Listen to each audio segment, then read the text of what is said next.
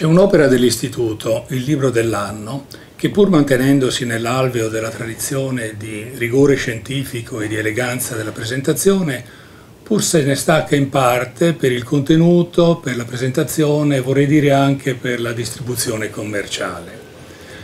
L'opera la più piccola dell'Istituto per un verso e per paradosso potenzialmente la più grande. Perché?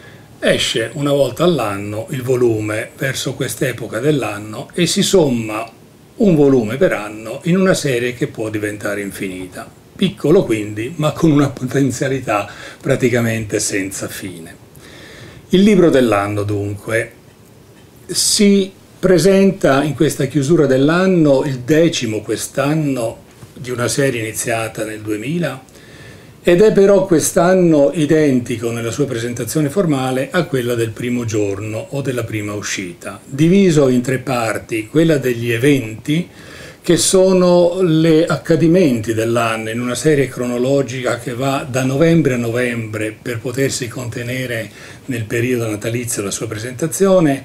Questi eventi sono scelti con rilevanza, uh, con rilevanza della importanza e però tuttavia con una, nessuna discrimine sul contenuto. Così ci sono gli eventi di politica, di arte, di storia, di letteratura e sono selezionati con un'ottica che va ingrandendosi ovviamente da quella del mondo a quella dell'Europa a quella dell'Italia. Così vediamo che per esempio nelle prime pagine dei mesi troviamo le facciate delle case dell'Aquila disastrate nel mese di aprile, una manifestazione degli operai per l'amianto in una società del milanese e poi l'arrivo schierato dei militari in attesa dei corpi dei caduti di Kabul.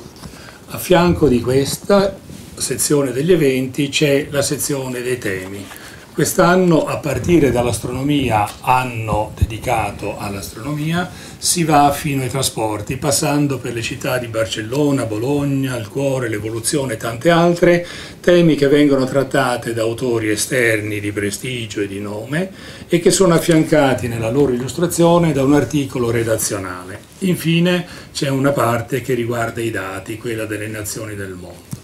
Quindi un'opera totalmente nuova che si pone anche in commercio in un modo nuovo, appunto in libreria. E noi riteniamo che questa collezione di mettere affiancato uno all'altro sia il valore aggiunto di quest'opera e riteniamo che dalla cronologia con questa sequenza di anni si possa passare alla storia.